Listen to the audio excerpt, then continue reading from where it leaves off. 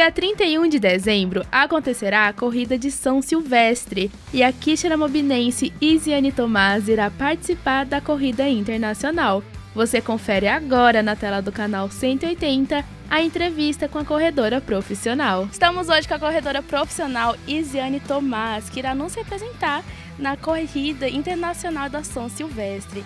Isiane, como estão os preparativos para São Silvestre? Bom, as expectativas são as melhores. É, já são 28 corridas né, neste ano de 2023.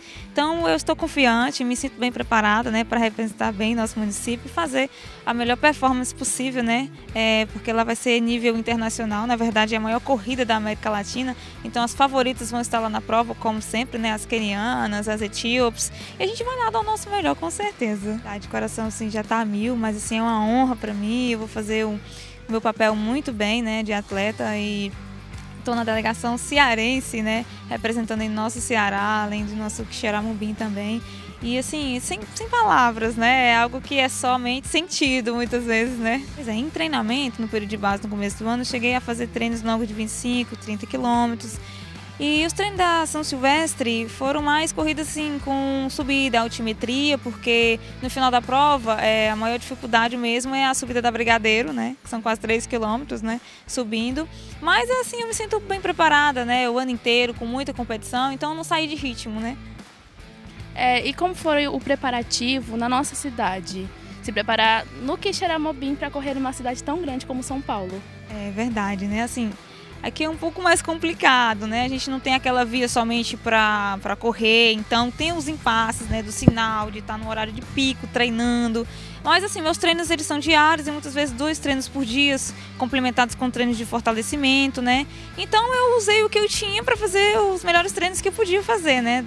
Mesmo assim com, com o percurso, a gente tem altimetria aqui na cidade também, mas na verdade eu não reclamo não, né? Porque só me ajuda, né? Esses desafios também no percurso. Esse ano eu não vou passar um ano novo em família, né? Mas todos entendem o meu objetivo. E a galera tá me dando uma super força aí nas redes sociais. O apoio municipal com certeza é bastante importante, pois foi feita a minha inscrição, as passagens aéreas através do município, né? A Secretaria de Esporte, juntamente com patrocinadores privados também. Queria agradecer a todos.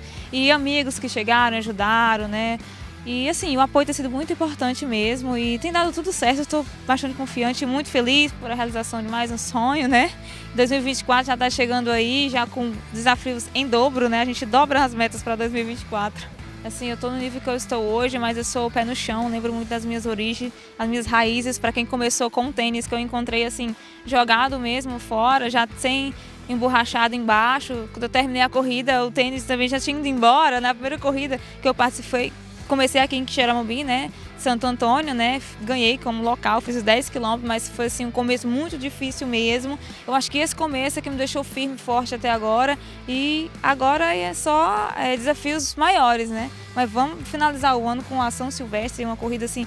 Eu não imaginava, né, que ia realmente participar dela, mas assim o apoio foi grande, então graças a Deus vou conseguir participar, representar nosso município representar muito bem.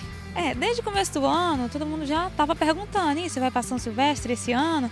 Mas aí não tinha nada muito concreto, era um sonho, era uma meta. Na verdade, em performance, eu queria me preparar mais dois, três anos para participar dessa corrida. Mas eu disse, não, tudo é propósito de Deus também. Já que tudo aconteceu e se encaminhou positivamente, né, para que eu chegasse até aqui, e aí a Secretaria de Esporte, que desde o começo do ano vem me apoiando, né, é, desde o começo do ano já montou esse projeto junto comigo, disse tudo bem. Eu não estava tão confiante, assim, logo no começo do projeto, mas aí a, é, a, cada mês, a cada passo, a cada, olha, vem aqui, deu certo isso, ó, inscrição já está feita, passagens aéreas, já está tudo pronto, o hotel, não, agora eu estou vendo a ficha caindo e tudo acontecendo de verdade. Então, nossa, tô, tô muito feliz. Coração a mil, mas a felicidade mais ainda. Ah, com certeza, esse sorrisão no rosto aqui, eu vou aproveitar cada minuto, cada momento, vou fazer alguns treinos lá no Parque Ibirapuera, né? Antes da, da corrida, conhecer, quem sabe ver a delegação keniana, né? Já os atletas de outros países lá. E assim, nossa, só em estar lá e poder estar entre os melhores atletas brasileiros, os melhores do mundo, é uma sensação única, né? Gente, essa foi a Isiane Tomás, que vai correr na São Silvestre, corrida internacional. Vamos acompanhar tudo, vamos aguardar, né, Isiane? A sua volta e ver o desempenho dela, mas vamos desejar aqui boa sorte e a torcida de Quixeramobim fique torcendo por ela, que vai estar representando a nossa cidade, o nosso Ceará em São Paulo.